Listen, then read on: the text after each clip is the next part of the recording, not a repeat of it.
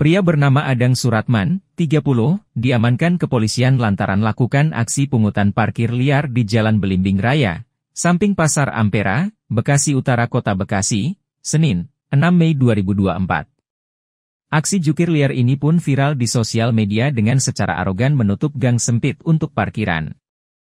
Kanit Reskrim Polsek Bekasi Utara, AKP Kaliaman Marbun membenarkan timnya telah mengamankan pria yang diduga meresahkan masyarakat.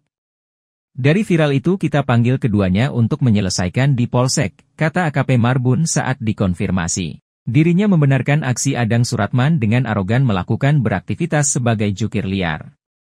Awalnya pemilik kendaraan hendak akan keluar rumah, namun justru akses jalan menuju keluar gang ditutup oleh motor yang sedang terparkir untuk membeli sayur. Itu ada warga yang ingin keluar rumahnya dengan menggunakan mobil, tapi pas keluar sudah melihat banyak sepeda motor yang terparkir dan membuat tidak bisa melintas, jelasnya. Agar menyelesaikan permasalahan tersebut, pemilik kendaraan dan jukir dipertemukan di Polsek untuk dimediasi. Pokoknya kita sudah bilangin jangan ada yang parkir di situ sudah selesai, tutup Marbun.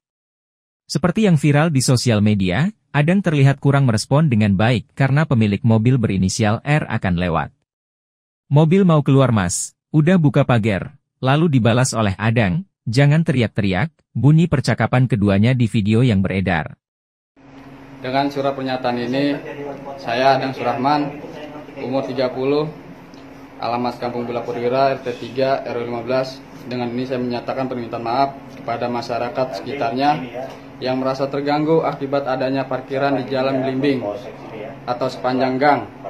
Saya tidak akan mengulangi perbuatan saya Demikian surat pernyataan ini saya buat tanpa ada paksaan.